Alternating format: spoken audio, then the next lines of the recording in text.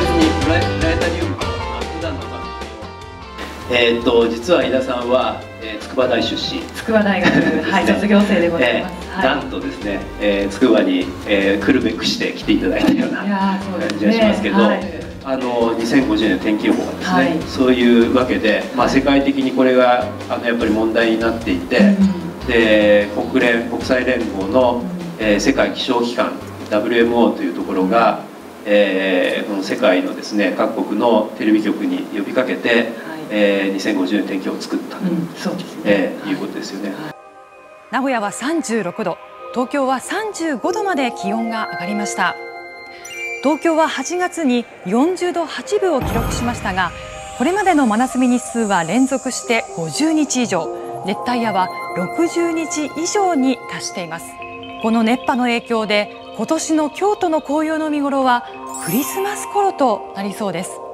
このままその我々があの対策を取らずに CO2 などの温室効果ガスがあのまあどんどん排出されていった場合に、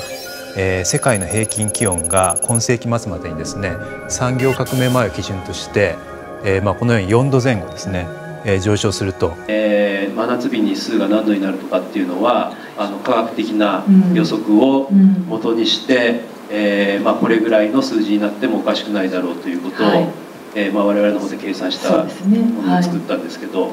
どうですか？そういうその数字をご覧になって2050年の天気を、まあ、日々、えー、お天気見てらっしゃる立場からこう想像された時にですね、何を感じられるで私もあの依頼を、まあ、みんなで制作して、まあ、あの出てましたけれども、まあ、9月になっても残暑収まらず、まあ、東京で35度とかそういうこと言ってましたけれども、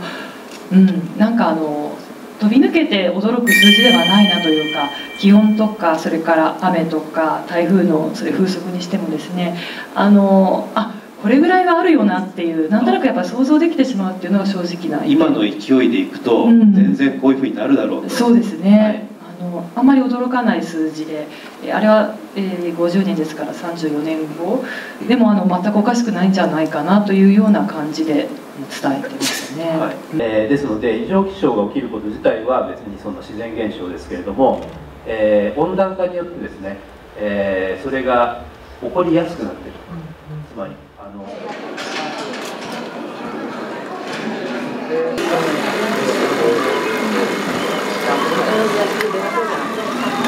あ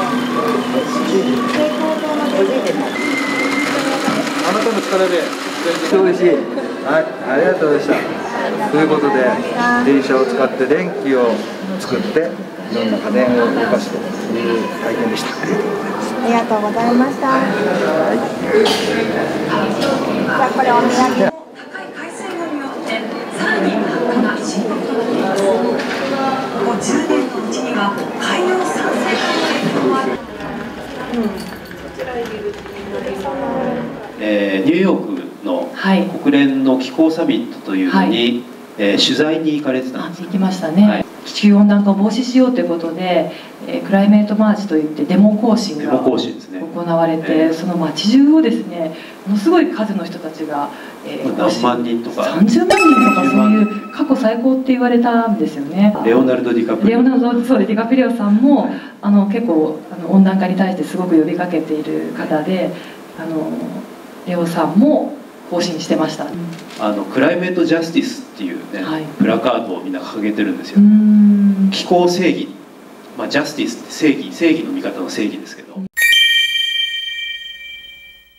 ジャストなんでちょうどいいっていうことなんですよね、えー、その極端に不公平じゃないとか。で逆に言うとそのすごく不公平なことがあるっていうのはジャストじゃない、えー、それがまあ不正義と呼ばれるわけですけども温室効果ガスをたくさん排出して今その気候が変わっているのにその原因を作った責任があるのっていうのは先進国とか新興国というかですね最近経済発展している国も含めてですけれども。でそれに対してその深刻な被害を受ける人たちというのは海面上昇すると国がなくなってしまう島国の人たちであるとかその干ばつが増えると本当に食べ物がなくなる、えー、貧しい農業をしてる国の人たちとかですね。でそういう人たちは全然その原因を作ってないのに理不尽にですね、えー、非常にその深刻な悪影響にさらされることになる、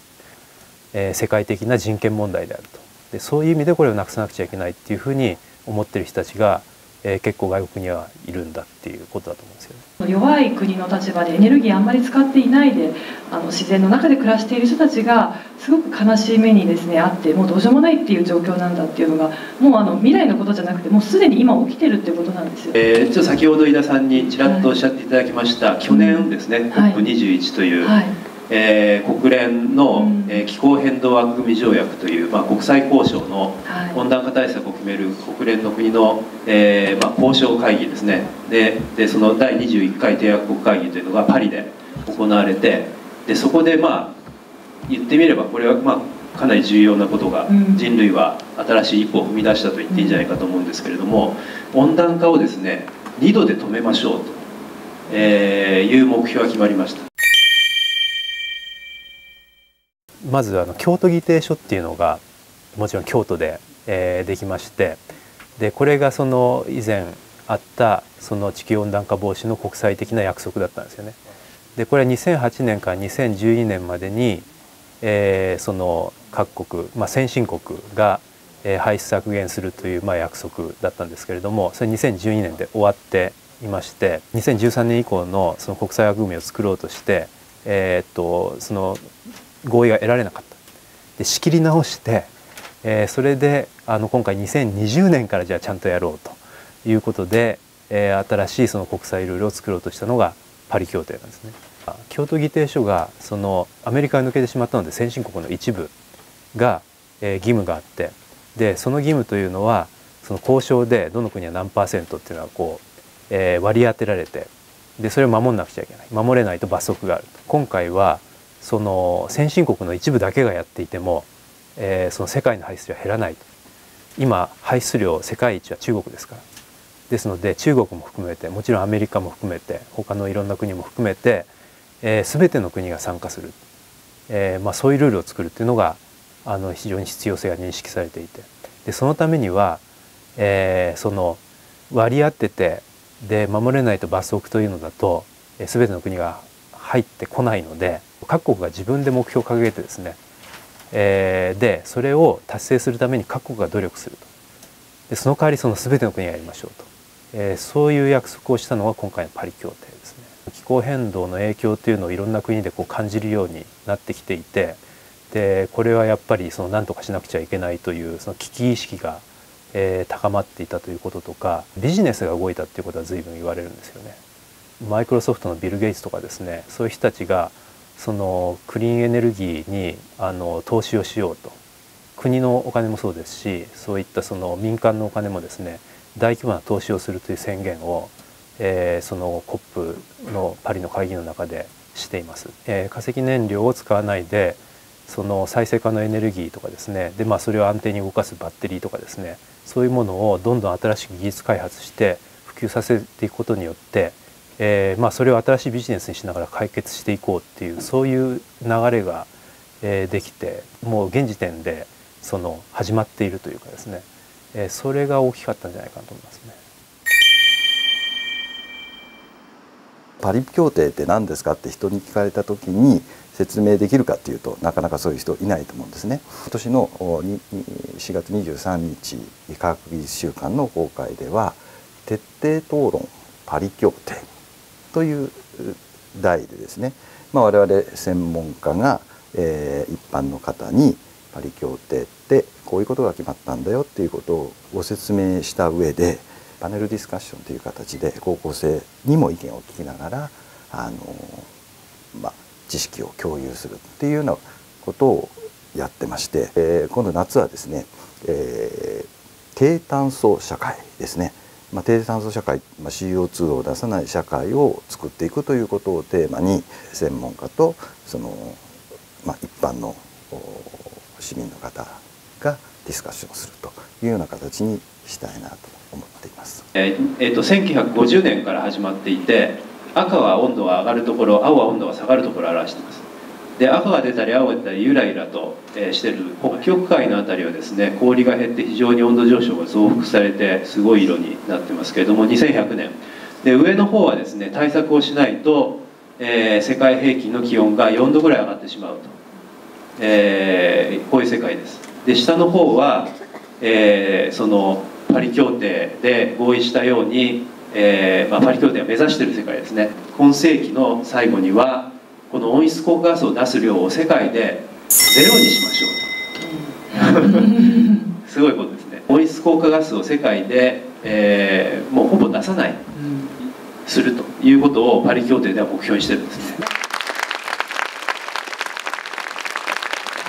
今日は本当にあの小さいお子さんにたくさん来ていただいてこういう温暖化のことをお伝えできたっていうのはすごく私にとってもあの良かったなと思っています。まあ、今日のことをきっかけにあの少しでもねあの地球温暖化っていうものがあの身近な問題であるということを感じていただければ嬉しいですしなんかこう行動のきっかけになってくれたらいいかなと思っています。えー、学校で結構その温暖化のことって習ってるんですけど学校で習うとどうしてもですね